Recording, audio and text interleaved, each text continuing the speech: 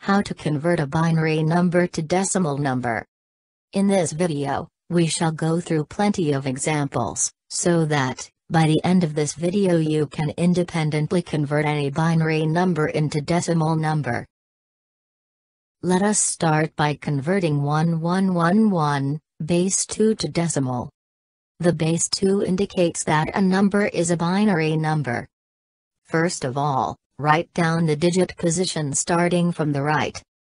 0, 1, 2, 3. So the first value, 1 time 2 to the zeroth power. The second value, the second number from the right, 1 time 2 to the first power. The third value, 1 time 2 square. The fourth value, 1 time 2 cube. So 1 time 2 to the zeroth power is 1. 1 time 2 to the first power is 2. 1 time 2 square is 4. 1 time 2 cube is 8. Now sum up all the values, we get 15. So the answer is 15. Before going to the next example, let us note down various powers of 2. 2 to the zeroth power equals 1. 2 to the first power equals 2. 2 square equals 4. 2 cube equals 8.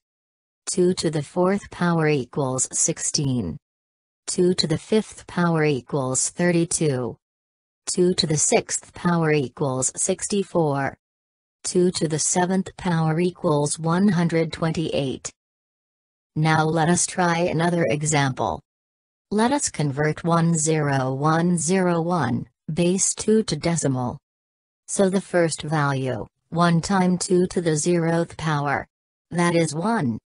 The second value, the second number from the right, 0 times 2 to the first power. That is 0. The third value, 1 time 2 square. That is 4. The fourth value, 0 times 2 cube. That is 0. The fifth value, 1 time 2 to the fourth power. That is 16. Now sum up all the values, we get 21. So the answer is 21. Now, try converting 1010, base 2 to decimal. You have 60 seconds. Your time starts now.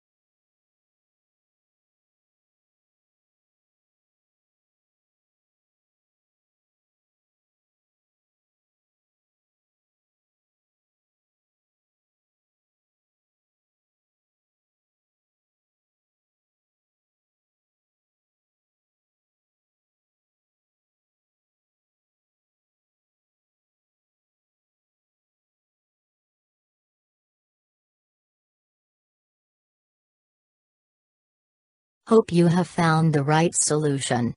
So the first value, 0 times 2 to the zeroth power. That is 0.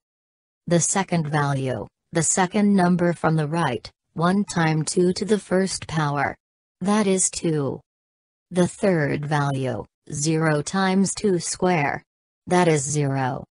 The fourth value, 1 times 2 cube. That is 8. Now sum up all the values we get 10. So the answer is 10.